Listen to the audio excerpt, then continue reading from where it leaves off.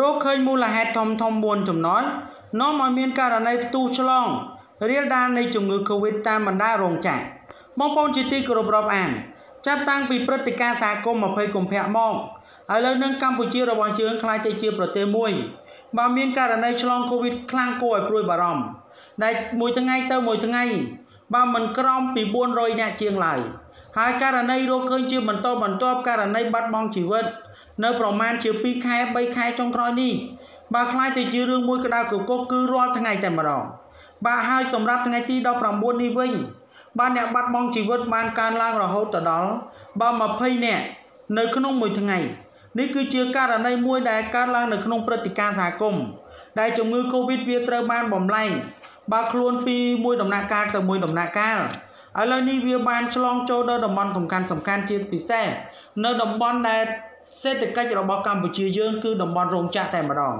ដែលមួយរយៈចុងក្រោយនេះបងប្អូនចង់ដឹងណាថាមូលហេតុអ្វី បានជាអ្នករោងចក្រឆ្លង ហើយពីមុនហ្នឹងបើផ្ទុះកូវីដខ្លាំងដែរមុនព្រឹត្តិការណ៍20កុម្ភៈផ្ទុះកូវីដខ្លាំងគួរសមដែរប៉ុន្តែมันមានករណីឆ្លងចូលរោងចក្រទេប៉ុន្តែឥឡូវនេះស្រាប់តែឆ្លងចូលរោងចក្រ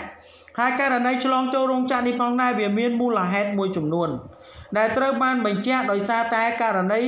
នេះដូចមានតទៅនេះចាប់តាំងតែពីព្រឹត្តិការណ៍សាគម20កុម្ភៈមកបើយើងសង្កេតឃើញមានករណីឆ្លងរីករាលដាលច្រើននៅតាមបណ្ដារោងចក្រសហគ្រាសនៅក្នុងតំបន់សំខាន់សំខាន់នៃរាជធានីភ្នំពេញដែលតម្រូវឲ្យរោងចក្រសហគ្រាសទាំងនោះត្រូវផ្អាកដំណើរការជាបណ្ដោះអាសន្ន បើយោងទៅតាមសេចក្តីបញ្ជាក់របស់រដ្ឋបាលរាជធានីភ្នំពេញលោកបានឲ្យដឹងថានៅក្នុងព្រឹត្តិការណ៍សហគមន៍20កុម្ភៈបើ2021ផ្អែកទៅតាមបទពិសោធន៍បាននៃករណីឆ្លងរីករាលដាលនៃជំងឺ Covid តាមរោងចក្របាទសហគ្រាសមួយចំនួននៃរាជធានីភ្នំពេញដែលមានករណីឆ្លង បន្តរីកប៉ាយនៅកន្លែងស្នាក់នៅបើរួមរបស់បុគ្គលិក និងកម្មករនយោជក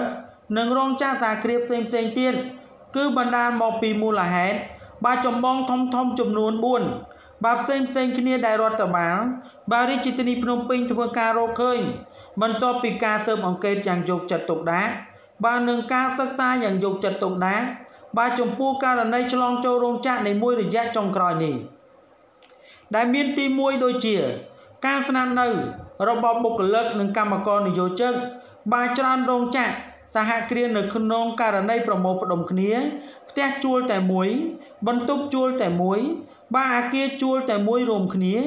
និងរស់នៅកន្លែងរួមគ្នា ដែលកន្លែងនោះយើងមិនដឹងថា បើមានអ្នករោងចក្រប៉ុន្មាននាក់មានអ្នករោគស៊ីប៉ុន្មាននាក់មានអ្នករត់កង់3ប៉ុន្មាននាក់បើនឹងមានអ្នកបើរោគស៊ីផ្សេងផ្សេង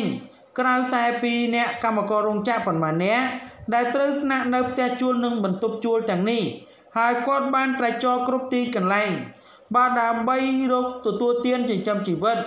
នៅពេលដែលគាត់មកវិញគាត់អាចនឹងមានផ្ទុកកូវីដហើយក៏ឆ្លងចូល បាទដល់កម្មករកម្មការិនីតែម្ដងនិងទី2ការធ្វើដំណើរដោយមធ្យោបាយបើរួមគ្នារបស់បុគ្គលិកកម្មករនយោជកដែលមិនមែនបម្រើការងារនៅក្នុងរោងចក្រសហគ្រាសតែមួយ មានន័យថាគាត់ជិះរថយន្តបើជាមួយនឹងគ្នា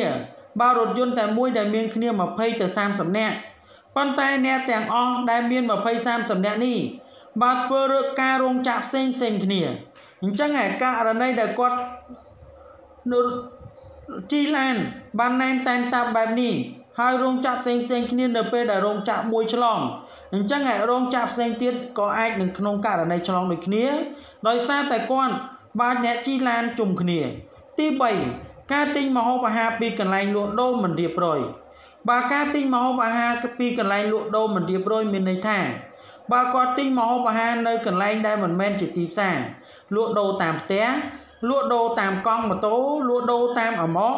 បាននឹងលក់ដូរដែលមានលក្ខណៈចល័តគ្រប់ទីកន្លែង បាននៅរាជធានីភ្នំពេញនិងនៅតំបន់ផ្សេងផ្សេងហើយដែលមិនអាចមើលដឹងនឹងយើងមិនដឹងថានរណាម្នាក់បើផ្ទុកនៃជំងឺ Covid នោះទេ ទី4មិនកាមិនមានករណីអនុវត្ត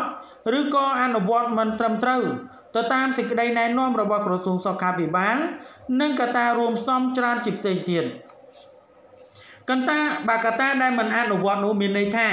បើក្រសួងតម្រូវឲ្យរោងចក្រត្រូវរឹតបន្តឹងឲ្យកម្មករពាក់ម៉ាសរក្សាគម្លាតក៏ដូចជាបាទឲ្យលាងដៃជាមួយនឹងអាកូរីជែលមានម៉ាស៊ីនបោះកម្ដៅត្រឹមត្រូវប៉ុន្តែរោងចក្រខ្លះអត់មានទេ បើដាក់ឲ្យមានម៉ាស៊ីនពិតមែនប៉ុន្តែមិនឲ្យកម្មករវាស់កម្ដៅទេ បើកម្មករដើរវៀង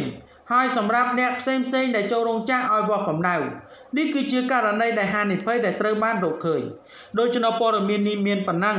ដើម្បីទទួលបាននូវព័ត៌មានថ្មីៗបន្ថែមទៀតសូម Subscribe និង Like